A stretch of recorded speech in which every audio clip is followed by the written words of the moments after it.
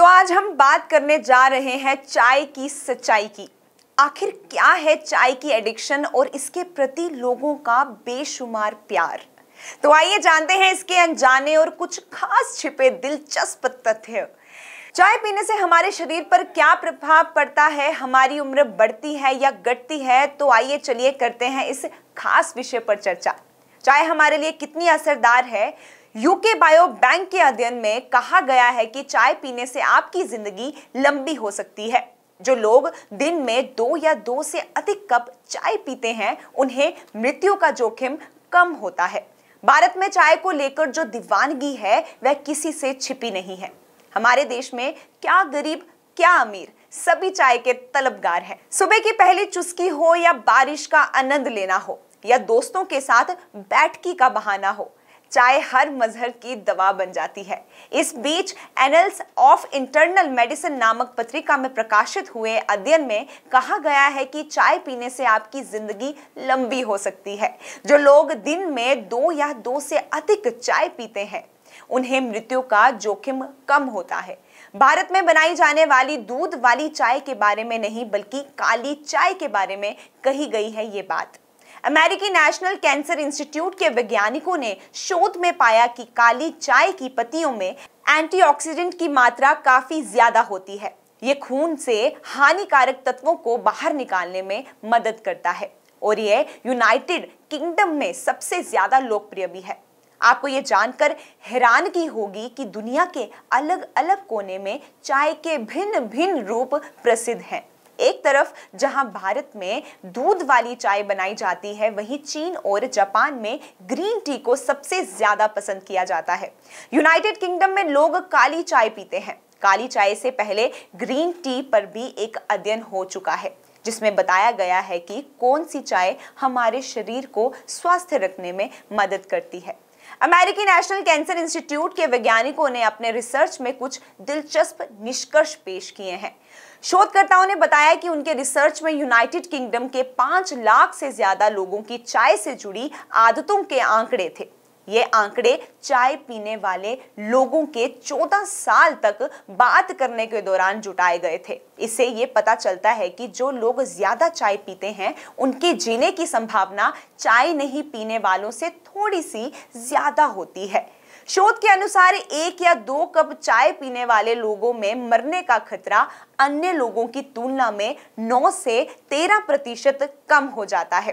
Annuls of Internal medicine पत्रिका में प्रकाशित इस रिसर्च में रिसर्चर्स ने कहा कि चाय हृदय रोगों के लिए फ़ायदेमंद है, लेकिन इसका कैंसर की बीमारी पर कोई असर नहीं पड़ता है। वन हेल्थ की फाउंडर डॉक्टर शिखा शर्मा कहती हैं कि भारत की बात करें तो यहाँ ज़्यादातर लोगों को चाय बहुत पसंद है।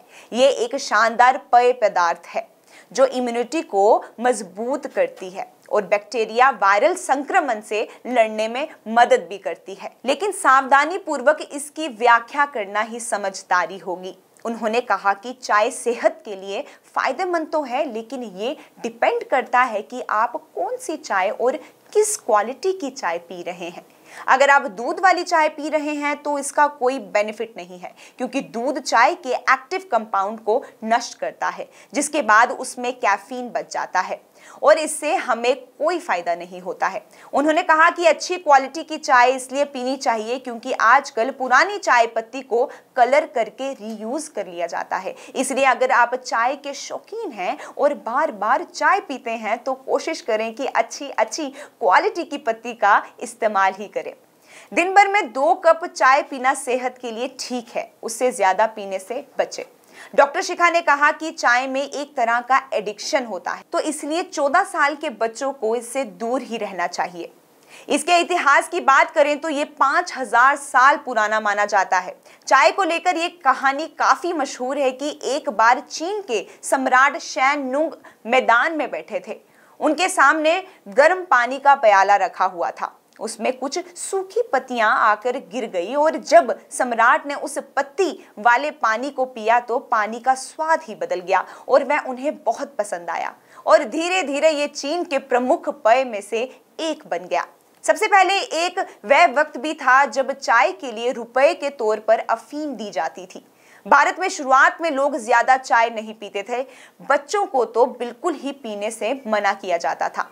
गाँव में एक कहावत काफ़ी मशहूर थी कि बच्चे चाय पिएँगे तो उनका कलेजा जल जाएगा। लेकिन जैसे जैसे समय बीतता गया, चाय भारतीयों की पहली पसंद बन गई। अब देश में करीब 90 प्रतिशत लोग दिन में औसतन दो बार चाय ज़रूर पीते हैं। वहीं चाय के कई प्रकार भी हैं, जिसमें white tea green tea oolong tea black tea और हर्बल टी सबसे पॉपुलर है। इन प्रकारों में ग्रीन टी सबसे ज़्यादा मशहूर है। इसे एशिया में काफ़ी पसंद किया जाता है।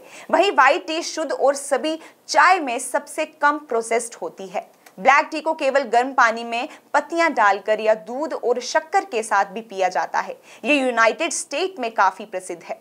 हर्बल टी में किसी भी प्रकार की चाय की पत्तियाँ नहीं डाली जाती, जबकि व्हाइट टी शुद्ध और सभी चाय में सबसे कम प्रोसेस्ड होती है। चाय को लेकर एक रोचक तथ्य ये भी है कि दुनिया भर में पानी के बाद चाय ही दूसरा सबसे ज़्यादा पाया जाने वाला द्रव्य है। दुनिया में लगभग तीन हज़ार तरह की चाय उपलब्ध है। इसीलिए शायद चाय इतनी बुरी नहीं है जितनी समझी जाती है। तो ये थे चाय से जुड़े कुछ अनजाने तथ्य। तो इसी तरह और भी विषयों के तथ्यों को आपके साथ साझा करते रहेंगे only on A N B news